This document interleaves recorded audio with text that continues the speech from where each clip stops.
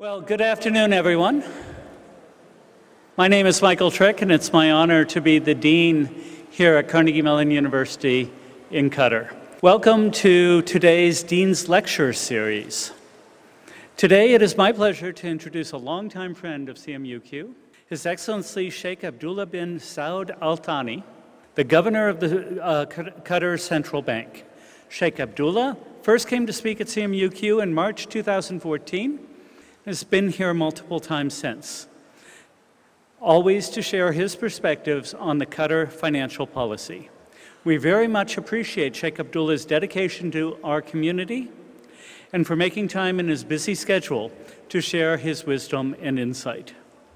Sheikh Abdullah began his career at the Qatar Central Bank in 1981, serving as deputy governor from 1990 to 2001.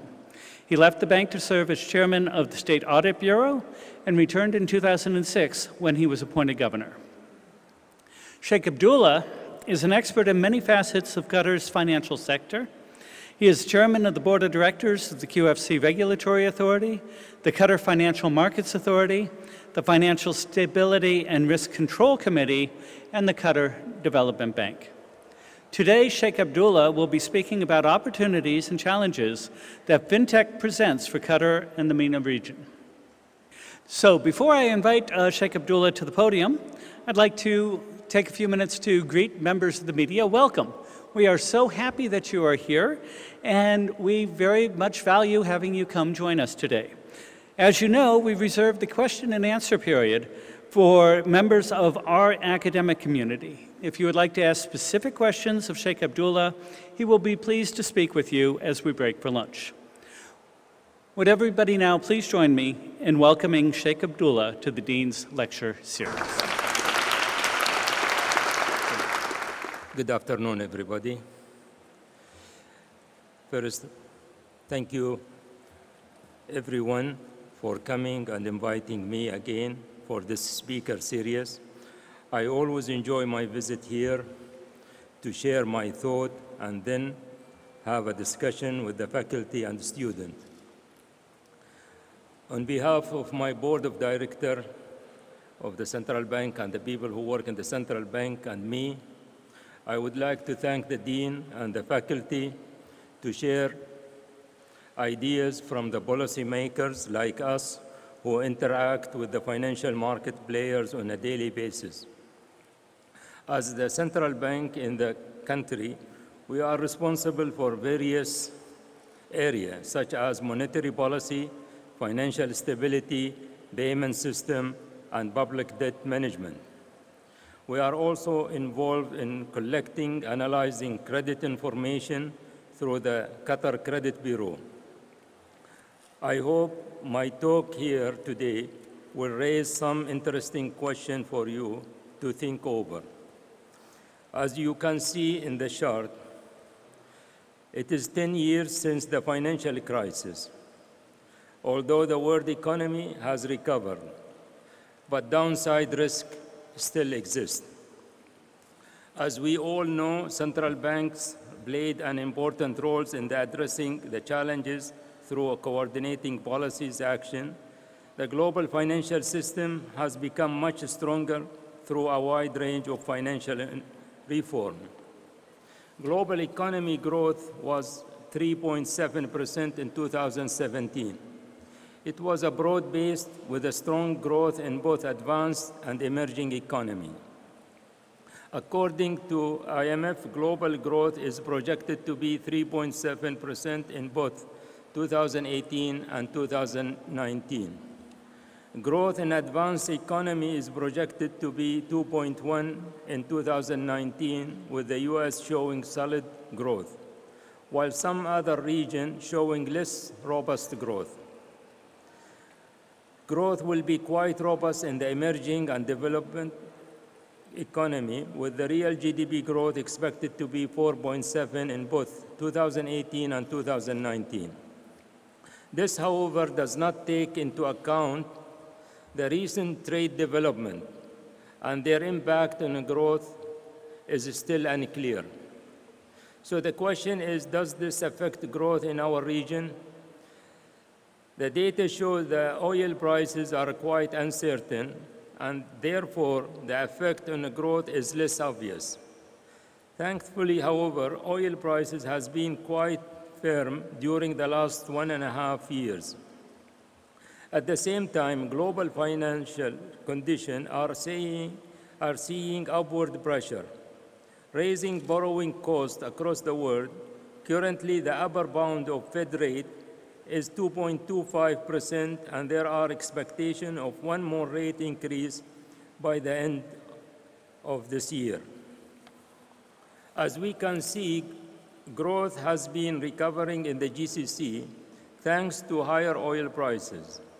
Although these growth rates are lower than that seen during the 2000 until 2010, the region is now getting used to 1% to 4% real GDP growth. And non-oil GDP need to grow in order to sustain this growth. The IMF predicts real GDP growth to be 2.4% in 2018 and 2.7% in 2019 for the MENA region. Interestingly, the MENA oil importing country have seen stronger growth, but this growth has been fragile due to the uncertain geopolitical condition. These, con these countries are expected to grow at around 5% during the next few years. That said, the region has not fully benefited from the global growth upswing that has been happening recently. This is reflecting in the chart, which show that growth in the region has been relatively lower as compared to the global growth. In addition, the GDP per capita has been going down when MENA countries are compared to its peers. Growth has been held back by a combination of high leverage, fiscal consolidation, as well as conflict and geopolit geopolitical risk. As the chart shows, the cumulative fiscal deficit in the region is rising. And for several countries, a big part of the debt is maturing over the next several years. This could put pressures on their public financing. Moving to the banking sector in the MENA, the sector is generally healthy with capital adequacy ratio at a good level. Although non-performing loans in some countries remain quite high. This is one key challenge for policymakers to tackle. After a period of liquidity challenge, the situation in the GCC has been improving, which could spell well for our business and wider economy. From the chart, you will see that after a decline in 2015, total deposit has increased in 2016 and 2017 due to an increase in government deposit. As a result, the loan-to-deposit ratios, after increasing in late 2016, has since moderated. However, the region is experiencing a rise in the cost of borrowing, which is expecting to impact credit growth. The IMF projects the average Fed fund rate to be 1.9 in 2018 as compared with 1% in 2017. As we see in the chart, this is putting pressures on the credit growth, especially private credit to household and corporate. After increasing in 2015, private credit growth has been scheduled in 2017, reflecting, among other, weak consumer demand and lower confidence. Surely this is something we do not want to hear. In this situation, the MENA region faces a challenge in funding its businesses. This call for expanding growth through financial inclusion. As we see from the chart, the level of financial inclusion in MENA are quite low. Lending to small and medium-sized businesses also need to improve. If we are to develop our non-oil sectors, it is important to assure adequate funding is available for small business and medium, which are a key driver for economic growth. Not surprisingly, therefore, the region's score quite low, not only in terms of getting credit, but also in terms of coverage of credit information. For example, among a high-income country, the percent of adults covered by credit registry in MENA is less than 15%, as compared with a close to 20% in rest of the world. A key task for policymakers in the near term is to address these challenges. A good thing in the region is the focus on the financial technology.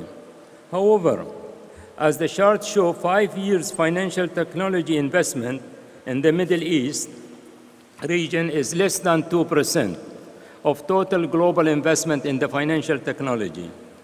There are several reasons for this, including regulation, investment, and infrastructure, as well as human capital, not to mention funding challenge. Let me spend the next couple of minutes on the financial technology. As the chart shows, at Qatar Central Bank, we will be looking at the financial technology through classification of financial technology by primary economic function and how it helps us. As the chart shows, financial technology credit globally is still small. However, the lack of good quality data from the MENA country make it difficult to make any clear analysis at this point. There are, however, indications that this number is growing fast, especially in the development country. Why is that? I can suggest several reasons for this. If you look at this chart, we find that China financial technology has taken over consumer and business lending, while in the US, it is mainly focused in the consumer lending. On the other hand, in the UK, it is a mix of business consumer, and real estate. This is quite a nice mix and show that, that companies and individuals have recognized the benefit of the financial technology. This is, however, not the case in the MENA region, and unless there is a big change in the culture, it might not take off on a large scale. This, the next question we need to ask is, who is funding these loans for the financial technology? As the chart shows, depending on the region, these loans are funding mostly by institution, especially business and corporation. This is not the case in the MENA, where such investments are considered risky and therefore not considered to be viable option for banks. More interestingly, in some regions, private lenders are pushing the financial technology agenda. At this point, the MENA region perhaps does not have the volume or risk tolerance to push the financial technology agenda. Therefore, unless we first address the problem of risk tolerance and education and get more private entity to take this up, it might not become as popular as in developed country. Another issue in the context is cross-border lending. As you can see in the chart, in the Asian Pacific region, excluding China, the share of cross-border lending is quite high, although it is much lower in America. At present, such lending in the MENA region is almost limited. Financial technology can enable also Islamic finance to attract more customers lower cost, and offer a wider range of products. Although there are several risks, this can also help the sector become more competitive. U.S. firm Blossom Finance, for example, is expecting to launch the first digital sukuk in late 2018. Retail investors will be able to invest in the sukuk which will use the money to fund Sharia compliance microfinancing initiative. Can we, as a region, make a financial technology work for, uh, for all of us? As the chart shows there, there is not much tendency for individual to use business-to-business -business platform in the MENA region as compared with the global average. Further studies will need to be done as why that is the case. I hope my view have raised some interesting among, interest among you. I look forward to take some question from the audience here. So thank you very much.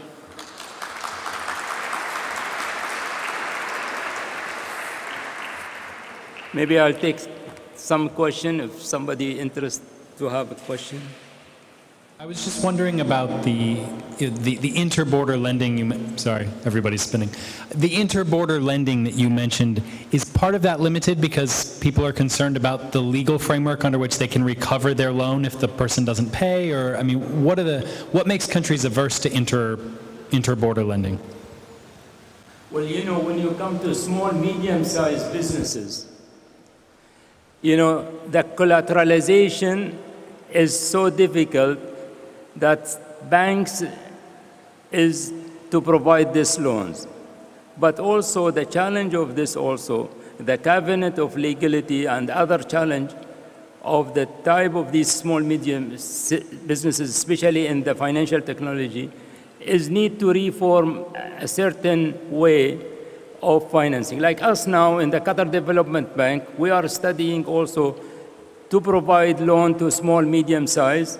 In addition to that, we are creating an incubator for the entrepreneur who also can work their, their work, uh, you know, processes and also get some seed funding from the Qatar Development Bank.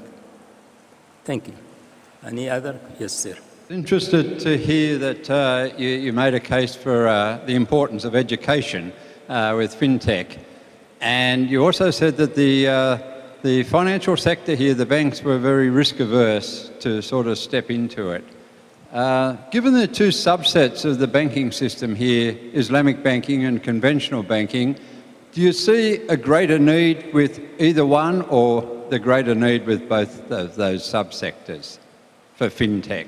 I understand your question. The separation of these two banking, Islamic and conventional, they work separately. Yes. And the conventional now, they don't have any kind of business in the Islamic.